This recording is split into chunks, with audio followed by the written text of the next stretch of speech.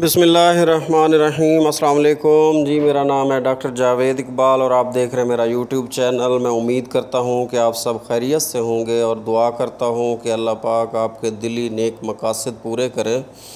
दोस्तों, एक नए सेशन के साथ आपकी खिदमत में हाज़िर हैं और उम्मीद करते हैं कि इन इस सेशन से आपका फ़ायदा होगा।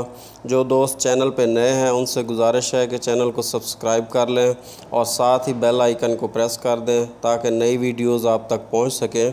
दोस्तों, हम मौजूद हैं जी मिल्किंग पार्लर के ऊपर और आज एक इंतहाई अहम मुद्दे पे बात करेंगे। वो है जी मिल्किंग पार्लर के ऊपर जानवरों को वंडा जो है देना चाहिए या नहीं देना चाहिए। इसमें जी दो तरह के कंसेप्ट पाए जाते हैं। कुछ लोग कहते हैं कि जी मिल्किंग पार्लर के ऊपर वंडा देना चाहिए।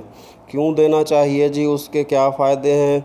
एक तो ये है कि जानवर आसानी से मिल्किंग पार्लर पे आ जाता है। जब जानवर नया बच्चा देता है स्पेशली जो हिफर्स होती हैं तो उनको पार्लर पे जो है ट्रेन करना थोड़ा मुश्किल होता है। तो वो अगर वंडा ऑफ़र किया जाए तो वो थोड़ा आसानी से जो है आ जाती हैं। और दूसरा जी ये है कि वो कहते हैं समझते हैं कि मिल्क लेट डाउन जो है आ, या जिसको पंजाबी में अगर कहें तो जानवर जो है पसम जाता है अच्छे तरीके से आ, वंडा डालने से।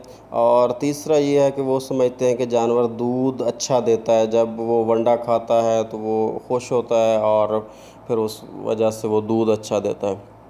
दूसरा कॉन्सेप्ट है कि यहाँ पे जानवरों को वंडा नहीं देना चाहिए। मैं भी दूसरे कॉन्सेप्ट से इतफ़ाक़ करूँगा और उसके क्या वजूहत हैं, क्यों नहीं देना चाहिए, उस पर इन आज हम बात करेंगे। वंडा जी मिल्किंग पार्लर के ऊपर अगर आप देंगे तो जानवर जो है, तकरीबन उसके जिसम से जब कोई 18-20 लीटर फ्लूड निकलता है तो जानवर जो है, थक जाता है, उसे कमज़ोरी महसूस होती है, ये एक कुदरती सी बात है। और जब वो यहाँ से वंडा खा चुका होगा तो वो वहाँ जाकर शेड के अंदर फ़ीड नहीं खाएगा और वो बैठना पसंद करेगा। जब वो बैठना पसंद करेगा फ़ौर जाके तो उसके जो थनों के सुराख हैं, वो खुले हुए हैं और उससे एक चांस बन जाता है कि जानवर को मस्टाइटस हो जाए। ये उसकी सबसे अहम। और दूसरा, अगर हम थोड़ा सा समझें जानवरों का जो डाइजेस्टिव सिस्टम है या जो जिसको उर्दू में अगर हम कहें तो उसका जो निज़ाम इन्हज़ाम है, उसको समझने की कोशिश करें तो ये चीज़ मज़ीद हमें क्लियर हो जाएगी कि क्यों यहाँ पे वंडा नहीं देना चाहिए। जानवरों का जी जो मैदा होता है, उसके चार खाने होते हैं और र्यूमन जिसको एक आप अजूबा भी कहा है कुछ लोगों ने तो उसमें ये होता है कि मुख्तलफ़ करोड़ों की तादाद में माइक्रोब्स होते हैं, जिसमें बैक्टीरिया अलजी और दूसरे प्रोटोजुआ वगैरह शामिल होते हैं। तो जानवर जो चीज़ खाता है, उसका ज़्यादातर हिस्सा वो जो बैक्टीरिया होते हैं, जो माइक्रोब्स होते हैं, वो अपनी खुराक बनाते हैं, उस जानवर की खुराक को। अपनी खुराक के तौर पर इस्तेमाल करते हैं और बाद में इन्हीं माइक्रोब्स को जानवर अपनी खुराक के तौर पर इस्तेमाल करता है। यानी हम जो फ़ीड जानवर को देते हैं वो माइक्रोब खाते हैं और फिर जो माइक्रोब होते हैं उनको जानवर अपनी खुराक के तौर पे इस्तेमाल करता है जिसको माइक्रोबियल प्रोटीन भी कहते हैं। तो दोस्तों इससे एक जो है आ, वो फिर मुख्तलिफ़ किस्म के माइक्रोब्स होते हैं। हर फ़ीड के लिए जो है अलहदा अलहदा कंसनट्रेट के लिए अलहदा होते हैं और दूसरे रफेजेज़ वगैरह के लिए, चारे वगैरह के लिए अलहदा होते हैं। तो इसलिए हम जो जिस तरह इंसानों को होता है कि जी मुख्तलिफ़ डिशेज़ हम खाना पसंद करते हैं तो जानवरों में इस तरह का नहीं होता। जानवरों में ये जो टी एम आर का कंसेप्ट आया ना टोटल मिक्स राशन का, वो भी इसी बुनियाद के ऊपर है कि जानवर को आप जो भी खुराक दें उसमें जो है ब्लेंड इतना अच्छा हो कि उसके हर लुकमे के अंदर उसका हर जो, जितनी भी आप चीज़ें दे रहे हैं, हर उसका जुज़्व उसके हर लुकमे के अंदर शामिल हो ताकि उसके जो र्यूमन के माइक्रोब्स हैं वो डिस्टर्ब ना हों और जानवर जो है सेहतमंद रहे। अगर आप वंडा अलहदा से देंगे तो उसमें बड़े कवी चांसेस हैं कि जो आपका जानवर है वो एसिडोसिस की तरफ़ चला जाए।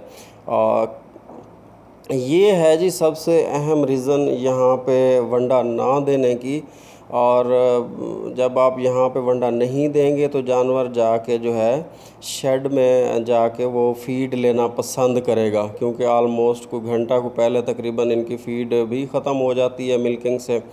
तो वो जानवर को भूख भी लगी होती है तो वहाँ पे वो जाके फ़ीड खाना पसंद कर, दूसरा जो कंसेप्ट है कि जी जानवर लगते नहीं हैं, ये देखें जी कोई वंडे की खुरली नहीं है, कोई वंडा नहीं दे रहे ये जानवर आ रहे हैं और ये अपनी तरतीब से लगते जाएँगे यहाँ पे और तीसरा जो वो कहते हैं जी मिल्क लेट लेट डाउन वाला तो ये जो जानवर हैं, ये ज़्यादा दूध देने, अक्सर लोगों का ये भी सवाल होता है कि ये आप जब उनसे अलहदा कर लेते हैं बछड़े, बछड़ियाँ तो वो उसकी चुहाई कैसे करते हैं, वो दूध कैसे देते हैं?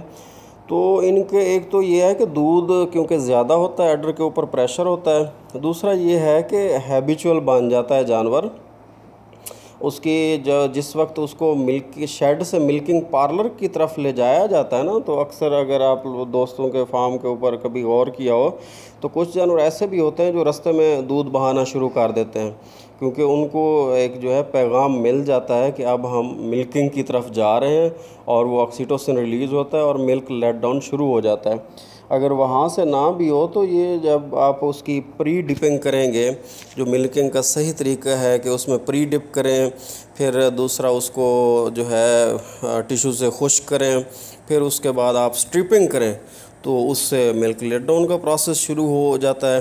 और लेट से अगर ये चीज़ें आप नहीं कर रहे, करनी चाहिए लाजमी करनी चाहिए, अगर नहीं भी कर रहे तो जब वो मशीन लगती है तो फिर भी वो ऑटोमेटिक लेट डाउन का प्रोसेस जो है, शुरू हो जाता है। बाकी रही जानवर को खुश रखने की वाली बात तो यहाँ पे अगर जानवर को आप इन्वायरमेंट अच्छा देंगे ना, उसके ऊपर फ़ैन लगा हो, पीछे वो शावर हो के आए, यहाँ पे जो है स्ट्रेस ना हो तो वो उससे ज़्यादा जानवर खुश होगा मेरे ख्याल में। ये देखें जी, लड़का इनके नंबर नोट कर रहा है, टैग नंबर, और ये फिर हर जानवर का इंडिविजुअल जो है मिल्क जो है रिकॉर्ड किया जाएगा।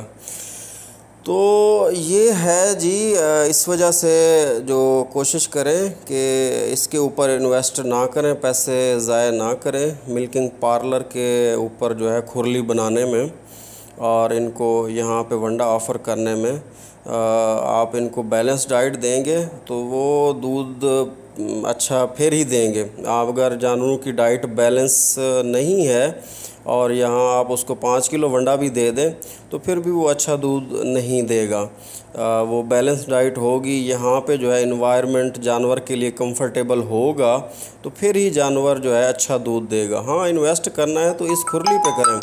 मोस्टली देखा गया है कि मिल्किंग पार्लर के अंदर जो है खुरली नहीं होती। पानी की खुरली ज़रूर बनाएँ। ये इस तरह डिज़ाइन करें कि जानवर जब मिल्किंग से आ रहे हैं, उस वक्त भी इस्तेमाल कर सकें और जिस वक्त वो मिल्किंग से जा रहे हों, उस वक्त भी इस्तेमाल कर सकें इस खुरली को। उसके बाद आप मिल्किंग पार्लर के ऊपर शावर लगाएँ जी। सोकिंग एरिया अलहदा कर लें ड्राइंग एरिया अलहदा कर लें, पंखे लगाएँ और जो है इन्वायरमेंट को जो है जितना कंफर्टेबल आप बना सकते हैं, बनाएँ, उससे इन जो है मिल्क प्रोडक्शन बेहतर होगी और जानवर की हेल्थ भी बेहतर होगी। यहाँ पे वंडा देने से हेल्थ के इश्यूज़ रहेंगे, इसी के साथ ही अल्लाह निगेबान